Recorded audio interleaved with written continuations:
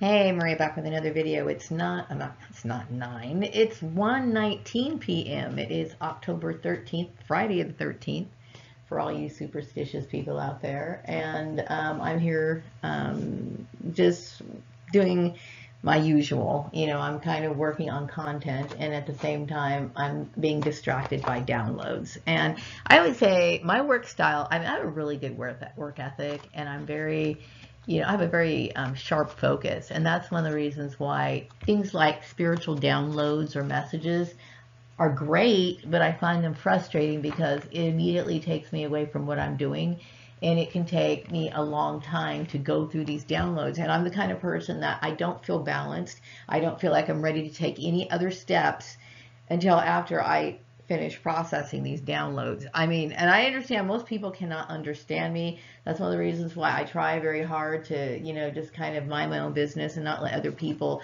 try to like put their or interject their feelings and stuff onto me because I literally do work on my own special, what I'm going to call divine, not that I'm divine, but, you know, divine given um, timetable and um, this is just how I am, you know. But I will say, you know, once I do get downloads, they usually serve to, to me as in a, in a, very beneficial way. Um, some for some reason, you know, I'm getting these downloads that, um, you know, I mentioned one yesterday, and I think it's really important because um, to know who you are.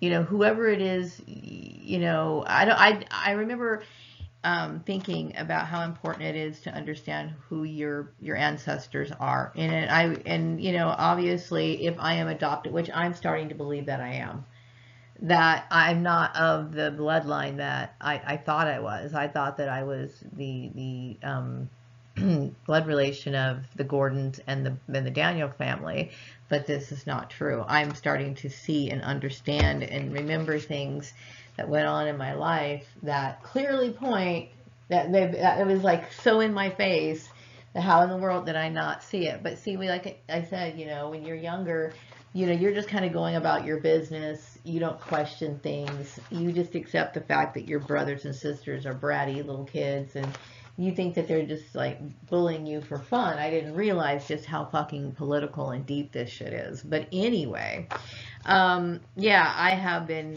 working on content for Patreon. I will say that my goal is to have for my Patreon subscribers to have, I'm going to say minimum four instructional videos um, for the entire month. Of course, there's going to be more, but I'm telling Maria, you know, because I'm going to be managing a newsletter and a bunch of other things.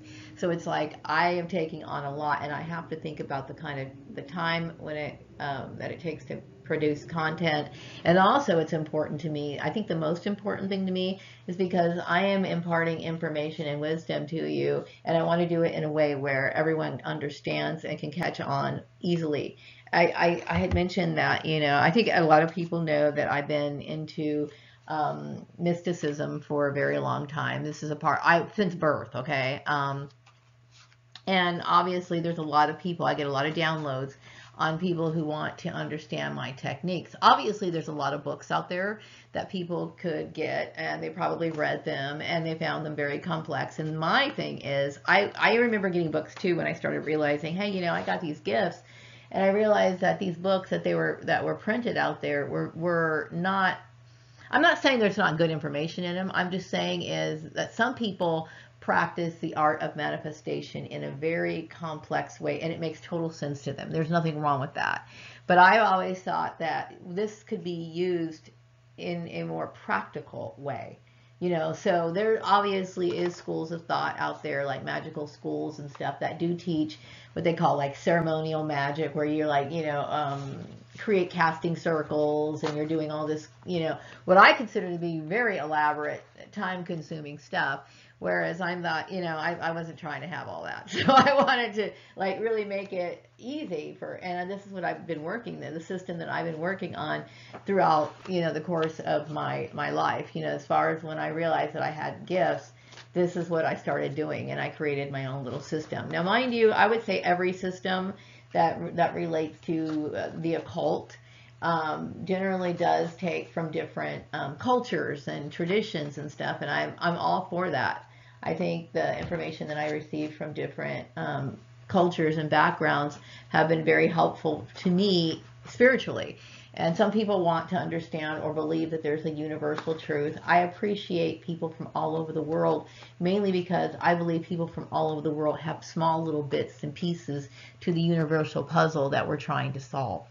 You know, like there there might be certain ideas and concepts that people like, for example, um, Hindus fully embrace that they understand and they utilize this information and it works for them. And, and other people outside of those that group might laugh at them or belittle these people but they actually do have something that is very valuable. And I don't think that I, I in a world where, where we were left to try to figure everything out on our own I think you know any bit of information all spiritual knowledge to me is fully accepted I will never laugh at anyone at all or mistreat them or discard them in any way. So I would like to say that people from all walks of, of life are welcome to join my Patreon channel. Um, anyway, when it's up and ready. And I'm hoping to have it ready by this upcoming Wednesday. Um, the actual goal was Sunday, but like I said, you know, what might appear to some people, they might think, oh, she's just being lazy. She's not doing anything.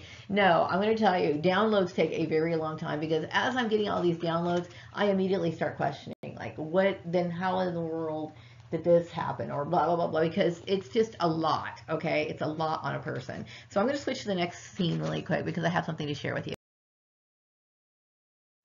Okay, so a part of the download information is, and I, you know, it's funny, like I had mentioned a while ago that I stumbled upon this, these um, tarot readings that people were doing online, and I, knew I immediately accepted and believed that this particular message, without even knowing anything about this reader or anything like that, had something to do with me. And you know what? I was right. I understand that I my gifts are sharp, very, very sharp. Okay, and, you know, that doesn't mean that I'm perfect, okay? I am not a perfect person.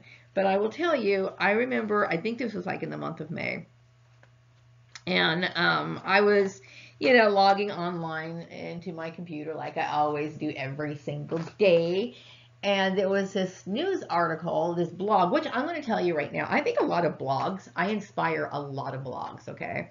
Um, and you know, in a, in the context of work, I don't like it when people steal my work because I'm at the time when I was young and naive and stupid, thinking that my work really mattered. I thought that you know what, if my employer knows that the, the what I the kind of value that I can bring to them, that I would be appreciated and I could secure like my employment and I could get raises and I can move on and I could, you know, I could, it, it, would add something to my career. Poor little girl, I was so stupid. But anyway, so it really would irk me, it pissed me off when people would take credit for my work, which people did this all the time and I hated it, right? Okay, but when it comes to people writing information about blogs, especially when it comes to ethics, especially when it comes to trying to really make people think about their behavior, I want to tell you there's something in my heart that just says, you know what, let that shit go because really we need people to act better. We need people to adapt better ways of living because this is you guys know what you fucking did to me, okay? And you know, hey, I'm not trying to point the finger, but what my, I'm trying to make the point of I'm trying to make the point I'm trying to make the point that um what people instinctively do and the behaviors that they instinctively they you know, inherently fall into. You know, it just goes to show you that these people, we, we don't think. Okay, society as a whole doesn't think, they just do. They, they are willing to hurt and harm anyone. They believe in things that they don't fully understand. They participate, you know, in, in nonsense or in genocide, and they can do it easily, you know. So that's my point. My point is, is that um, I believe that people are individually responsible for their own behaviors. And so I've been, so since I've been talking about this in my videos, I've been noticing, like I said, there's a lot of blogs. But, but this is the blog that I wanted to point out. Okay, now this one is blowing my mind, and I do not have confirmation for it, and I don't really know how to go about getting any legal confirmation for it. So I feel like I'm at a stalemate. But anyway, I would say in the month of May, see how, how I like veered off into the other conversations because this is one of the reasons why I like to write out my content and then like read it out because if I don't have all my thoughts in order, I, I, I'm just going to keep blaring off into different subjects. So believe me, when I create content, I do it in a logical order and I do it in a way where I'm not just like you know, getting off the subject. But when I'm getting off the subject, I really am on the same subject. It's just that it just has so many different faces to it. You know what I mean? Anyway, in the month of May, I was on my computer and I had noticed this particular article about this this prince. Okay, he's a prince of Ethiopia. His name is D, and I'm probably not going to pronounce it correctly. It's D Jazz Match Ele, Elemejo Simeon Tiwodoros. Okay, um, he was born in on April 23rd, 1861. He passed away on November 14th, 1879. He was a very young man when he passed away. He was like 18 years old. He died, and he, I believe, he he's built, he's buried in the catacombs in, in, in England. Okay. Um, um, it seems like he had a very sad life, okay, and obviously a very sad and short life. But whatever reason, um, I remember feeling compelled to read that story when it, it when I saw it. And yesterday, when I had these downloads, and see, you know what I hate? Okay, I have talked to, I have talked to people you know, like I call it barbershop talk, you know, where like a lot of black people get together and they talk about, you know, they, a lot of black people want to be from places like Egypt and Ethiopia because that's like the coolest parts, right? So, um, people would tell me that I was from Egypt when I was younger. Now, this man, this particular, uh, he's referred to as Prince Alemayehu. I believe that's how you pronounce his name without sounding dumb. Um, he's from Ethiopia, but I do believe that there is some sort of connection between Ethiopia and Egypt. Okay, and I don't remember exactly right off the top of my head. I know they have trades that, that go along um, with the, with these two places, but I, am not exactly sure as far as political rule, and I, I feel bad for saying that because I feel like I should know because you know I'm a genius and everything. But I, I don't know completely. I'm not 100% clear on that. Okay. I do know that from my based on my downloads. Everyone I was the reason why people treated me like shit when I was growing up is because I was adopted. Now, as fucked up and as cruel as that that sounds, it's the truth, and this is one of the reasons why um, I do think that there's a problem, serious problem with people's ethics, morals, their standards. If somebody is going to hate somebody just because they're adopted, shame on them. Okay. Um, I'm gonna I'm just kind of gonna go to the Bible, and I don't really have the verse, but it does talk about how people should be you know kind, especially kind to the elderly and those who are considered orphans. Okay, so people think, and my unfortunately the family that adopted me, the Gordon family. Uh, see how quick it is very easy for me to disassociate myself from being related to them. Okay, see how that just rolls off my tongue like the Gordon family. Like I don't have no shit to do with that at all. Okay, I, you know if I can like somehow distance myself from it, good. Okay, but anyway, here here's a family that is using a child to supplement their income. Fuck it, they're not even supplementing their income. I am basically the cause of them getting an income. Okay, so they don't like me because I'm a smart kid. And this is where the hypocrite, the, the shit just really pisses me off. I know black people talk about, oh, you know, we want people to advance in our race and all this other stuff. But the minute they, they see evidence that there's somebody who's dark skinned who can be somebody who can do something, they want to they want to cut it down. This is the hypocrisy of people in general. Okay, uh, so my family hated me, which is wicked, right? It's hypocritical and then they encourage other people to hate me too. Now, this is not me trying to to, to like start an argument because I already have like you know 1300 videos of me bitching and complaining and name calling and just like literally calling other people out on this issue, which I have every right to. Okay, but I'm not pissed off about it anymore. I've completely moved on from it. But I think the point that I'm trying to make here is that look how people treat orphans people who have no one, people who that nobody fucking cares about, and they encourage other people not to care about that person either. So this is why I don't get upset when I see blogs about really people taking some time out to look at the human nature, you know, that they were that they normalized. Looking at their backgrounds and thinking, okay, did I really was I really raised correctly? You know, do I really have compassion for people or am I evil? Or do I have a little bit of evil in me? See this is what i'm interested in like and so when i see people writing blogs based on my shit you know unlike the work you know, the, the nine to five job where people are ripping me off. I'm going to say I'm really glad to see that. I hope it makes a difference. Okay. But anyway, so back to this prince. Sorry. Man, I'm telling you. Okay. So this prince, I believe yesterday as I was meditating, I kept thinking, I bet you that prince might have something to do with who I am. I bet you it does. Now, I know that in the past, I remember this girl telling me from school, and since I'm getting the download that everybody except for me knew that I was adopted, so I was basically the laugh of the town, the person that everybody fucking hated and wanted to beat up on because I was adopted and I was a smart girl, right? Um, so where am I going with this? Okay, so the bullying, the bullying, the, oh shoot, I'm like losing my train of thought here. Um, okay. So then we have me, um, you know, not being fully accepted by people because my mom was obviously afraid of me because she, she felt intimidated by my intelligence. Um, and then the other kids at school didn't like me only because people were told not to like me. Um, when I think about this prince, um, I kept thinking, oh, wow, you know, maybe he, he does have something to do with me. And I remember a girl, when I was having a conversation with her back in high school, and, you know, because everybody knew I was adopted, she might have known that I was from a, a different origin. I had different origins. Because I remember her saying, you just remind me of like an Egyptian or something. And I kept thinking, okay, well, I didn't really think much about it now but somehow it seems relevant. It seems relevant right now. So I don't know. Um, what else could I find out about this particular prince? You know, I don't know if it seems like he would have some family, some sort of family left over from that time period, even though, see, it looks like his father had committed suicide.